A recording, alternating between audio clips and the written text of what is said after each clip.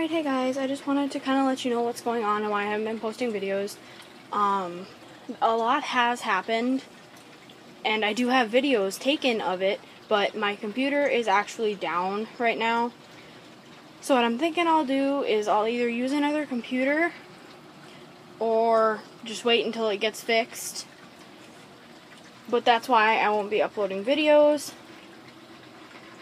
I actually did, I moved the Mama Molly into the fry tank, and as you can see, she has given birth, and he is all over her. And I'm hoping that won't stress her out. Because it is a big tank, and she has the ability to get away, I hope.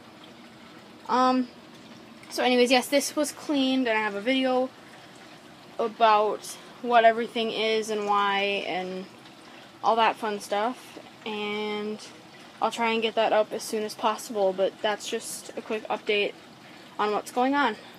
Thanks for watching. I hope this doesn't deter you from watching my videos and subscribing, but I hope you do. So I'll hopefully get a computer ready and fixed up. So thanks for watching, guys. Bye.